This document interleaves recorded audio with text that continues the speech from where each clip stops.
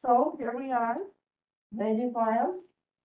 We are going to have some words. My very wise man, he just said, never turn down free coffee.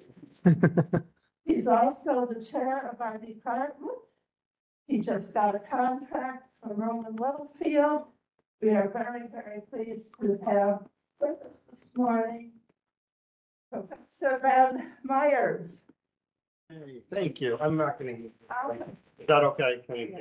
I have the honor of kicking this off, um, despite not, you know, putting in kind of the labor that I know lots of people in this room put into this event. Um, but I'm really happy to get to do that. I feel bad. I know you're like, I'm gonna try to put it here so you can see it as well. Um, but, uh, yeah, I'm, I'm really happy and I'm, I'm chair of the Department of Communication. I'm so happy that, you know, the, kind of the, the driver of this project, this kind of institution here at UT comes from our department in communication, right?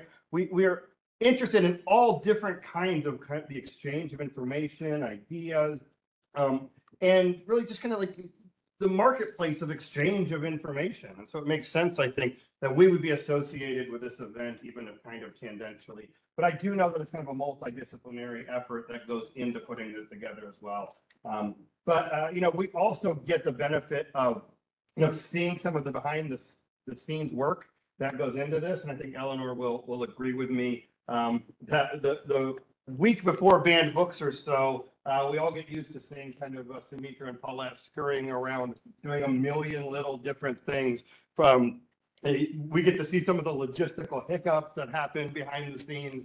Um, we get to, we get to be a party to, uh, to some of the panic that happens when something that was scheduled doesn't quite happen the right way, or, um, you know, something falls through, which just to say that I see like so much effort and labor that goes into this. Um, and I just think, you know, we, we, uh, couldn't have a better ringleader for this thing. Paulette does such a great job, and it truly is. Uh, a labor. Um, but I, uh, you know, I, I'm just really proud of what an institution this has become. I've been here at UT for five years. First time I met Paulette, you know, it, it was the thing that she brought up. She said, I gotta tell you about this thing that I do.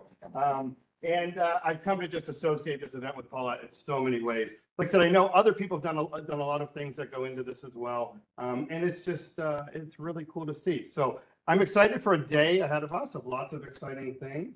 And uh, yeah, I think that's all, that's what I have. So wish I had Paulette's charisma. If I had Paulette's charisma, I would have, I'd have 10 more minutes of, of, uh, you know, stuff to stay up here and, and entertaining anecdotes and such. But um, anyway, thank you all so much for being here and looking forward to, to hanging out with you all throughout the day.